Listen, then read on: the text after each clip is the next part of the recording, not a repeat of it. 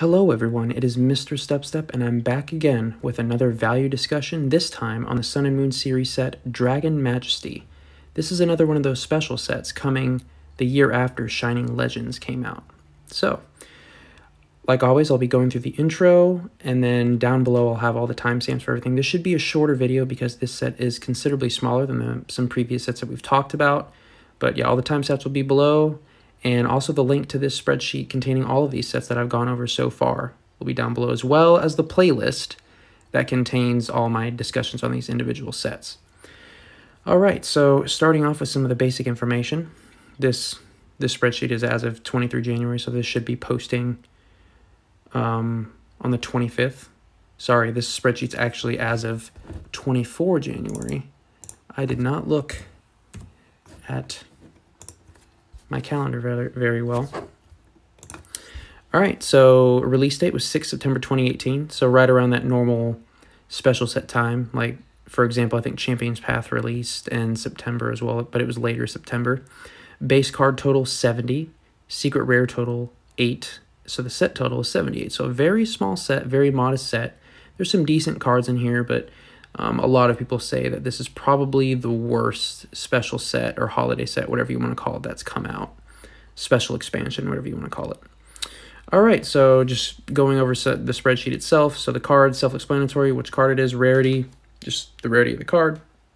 Uh, the raw price on TCG Player, it's the raw price rated down as of 24 January, and that's just that marketplace value. So it's basically an average of all the sold cards on TCG Player, which it ends up being around a lightly played condition for the card, sometimes a little bit better than that.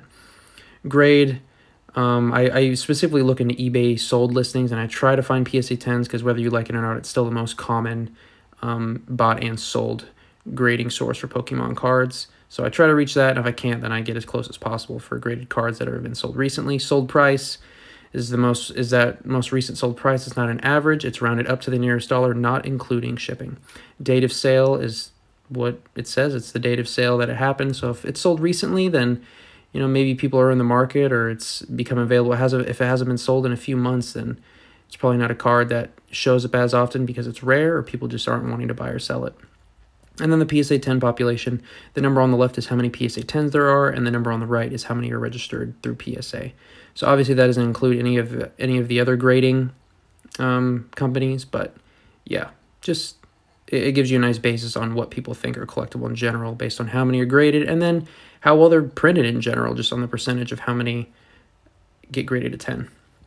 All right, so now that we're through that low, oh, and the colors, if it's over orange, plus 50, yellow, plus 100, and then green is 200 plus for um, the PSA sold list or the graded sold listings. And I have another color reserved for really special cards, but there's none of those in this set. All right, so starting from the top, um, Really nothing of note. I mean, you have Fiery Flint as an uncommon, but just a few sold uh, for rare. First somewhat big card is Kingdra GX, sold for over $80, which isn't too bad. Um, Victini Prism Star, I couldn't find any PSA grade. I've noticed a lot of the Prism Stars have been being graded with CGC, like in past sets. This is another set that contains Prism Stars, um, or the Prism Rares. And a CGC 9 was sold for 20 bucks, so I mean, not horrible. Um, then we go down to Altaria GX Full Art, sold for $100, which is honestly not that bad. I personally really like Altaria. It's, I mean, it's third generation, evolves from Swablu. It's just a really cool Pokemon, and it's not a Pokemon that you'd expect to be Dragon type. I think that's why a lot of people like it. And it's, it's kind of cute, you know? It looks soft and fluffy. Um, let's see, we have a few more cards. The Dragonite GX, I personally think that's an awesome card. It only sold for 50 bucks, and it sold very recently, but I just think that's a really good card personally you have the Charizard. So there is a Holo rare Charizard in this set. Personally, I don't think it's one of the better um, artworks for Charizard, but it is a Charizard. It's just a Holo rare in this set, so not super easy to pull, but not difficult to pull either. I mean, it's more common than, you know, your everyday GX, and there's not a ton of rares within this set either. But a PSA 10 sold for $180, but you guys will see after we go through this whole list, which is not much longer, 551 out of 1,012. So it's a little over 50%. So not horrible, but not great compared to some of the other cards in this set. But I, I guess as the numbers increase, you know, the more desperate or the the less wary the eye is that's sending in the cards because, you know, people just want a PSA 10 Charizard. Um, so I think this definitely bumps up the collectability of this card a lot because of how popular it is. And of course, people are going to be wanting to have the Master Set Charizards. Master Set of PSA 10 Charizards, which this is included in that. Uh, I got some Secret Rare trainer cards. We got Blaine's Last Stand full art. I I'm not a huge fan of the male um, trainer cards, but I mean this card is just beautiful. Like it looks sick. Like they did Blaine really well. Blaine's Last Stand has been reprinted a bunch of times within Sun the Sun and Moon sets, but they they did his full art really well in this card. Like I really like it. 150 is very fair price for it. I'm not surprised at all. Let's see. And then we start getting into some green, which is nice. We have the Reshiram GX sold for $200. Reshiram and, uh, what is it? And Zekrom, I don't know. They're just, maybe it's because I didn't, I played through Generation 5 once. And I don't, I didn't even play through Black 2 or White 2. And I never watched the anime during that time. So I don't have like a huge, I'm not a huge fan of these legendaries. And they're honestly very forgettable because you have like, Kyurem, Reshiram, Zekrom, like they all just kind of lump together in my head. Like they're slightly different colors, but I don't know. I mean, I'm, I'm sure if Generation 5 is your first generation, like these are awesome cards. And I mean, it sold for $200. Like that's not bad. Um, it grades for a little bit less than 50%, but yeah. You got White Kyurem GX, which I think that's the combo of Reshiram and Kyurem together, I think. Like through the fusion, or I, I forget what it is. But 115, not actually that great. Salamence GX Secret Rare. This card, I think personally, this card is my favorite card in the set. It's beautiful. If I could have any card in the set, I would choose this one. Also sold for two hundred dollars, a little under fifty percent for PSA tens, which I thought that was interesting. Um, Zinnia Full Art. I don't know if I put this in the waifu category. I mean, one sold recently on 3 January for $100. So to me, that's a lower tier waifu. And I mean, Zinnia, I'm pretty sure she's like that dragon girl that kind of assists you with getting Rayquaza and the Rayquaza in the uh, Omega Ruby Alpha Sapphire video games, and I'm sure she has other roles like in the show and everything. But I don't know, just very forgettable. I saw the name, I'm like, who is this? And I looked her, I'm like, oh yeah, she's that random dragon girl, isn't she? And then the gold card within this set, the I don't know if it, it maybe statistically be the hardest pull or equivalent to the hardest pull, but it, it is a very beautiful card. The Ultra Necrozma GX it destroys everything out of the water uh, uh, for raw price at $77. And it's a three way tie for first on the highest sold recently for $200 as well. Um, and it's a little over, actually, it's right under half. No, it's right, it's a little over half for PSA 10. So not too bad. If you have this card, like awesome, you have the you I guess you could argue the biggest set or the biggest card from the set, but I think the Salamence GX will do better in the long run because yeah.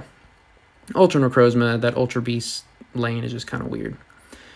So, going down in some little tidbits at the bottom, we have the, I just compared it with Shining Legends, as I do more of the, uh, the special sets, even though there's not really not too many more. What, you got Hidden Fates, Generations, um, Champion's Path, and I guess eventually Shining Fates, kind of, I don't know. So, I just compared these two so you can kind of see the, the average prices between the two. So GXs, you can see almost half of Shining Legends. Full Art's actually about the same. And then the Secret Rares, obviously, Shining Legends is going to crush in Secret Rare category. Because, I mean, you don't even have any that break the average of Shining Legends. But there are more cards over a dollar than in Shining Legends. And Shining Legends is, you know, a year older. So I thought that was interesting. Um, then we have some more interesting stuff. A master set on 10 January sold for 550. I looked at the listing and the cards look decent. It had everything, even the energies and reverse energies. And the Ultra Necrozma was in good condition. Sorry, a little indigestion. Had a, some burger and fries tonight.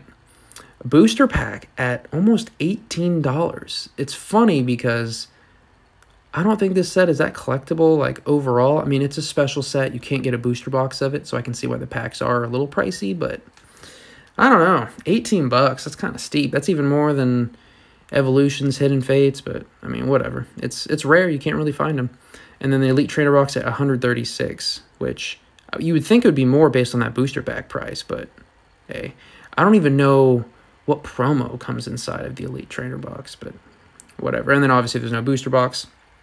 So yeah, that's pretty much all for this set. You know, pretty, hopefully a shorter video. Um, I'll just go through the tiers of collectible cards in, in my opinion really quick. So for the low tier, I do low tier, mid tier, and high tier for collectible cards within this set. It's kind of in relation to other cards, and this is more for just collecting and holding on for like the long run. Like I'm sure there's a little bit of correlation if you wanted to do some immediate flipping with like, you know, a couple months or a year or two, but I, am thinking like 10, 20 years down the line from now. So low tier, I would put the Zinnia full art, uh, the two Dragonite cards within this set, they don't sell for much now, but I think Dragonite is just one of those cards that people love. And I guess the more cards of his that are printed, you know, the more it'll kind of go down, but I think there are Dragonite. I'm pretty sure there's like Master Set Dragonite people out there. And then the White Kyurem Rainbow Rare. I mean, it sells for over a 100 and it is a legendary and it's a it's a combined legendary, so it's that's kind of cool.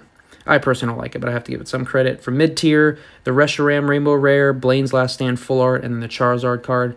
I was debating whether or not to put the Charizard in the high or the mid, but just based on its price and how many cards there are of it, like 551 PSA 10s, I mean, in relation to a lot of other cards, it's not that much, but I think just in the long run, because it is just a holo rare, it's going to kind of lose lose track after a while. And then the high tier, just two cards, the Salamence Rainbow Rare and then the Ultra Necrozma gold card within this set. Those I personally think those two are the best, the most highly collectible cards within this set. And I mean, Salamence is the number one card that I would want, and then just based off of numbers, Ultra Necrozma's up there, and then you know that Charizard's been graded a ton. But overall, definitely let me know what you guys think on this set. It was a shorter video. Um, I don't. I, I have no cards from Dragon Majesty at all. No products, no cards or anything. I wasn't collecting during this time. So I'd like to see if you guys agree or disagree with anything that I said, since it's all just you know speculation based on you know a snapshot of data. But uh, yeah, just leave any feedback or anything down below. If this is your second video of mine, consider subscribing. And if you like what you saw, uh, give this video a like. Or if you don't like it, then you know dislike it and leave some feedback down below. But I want to thank you guys so much for watching and have a good one.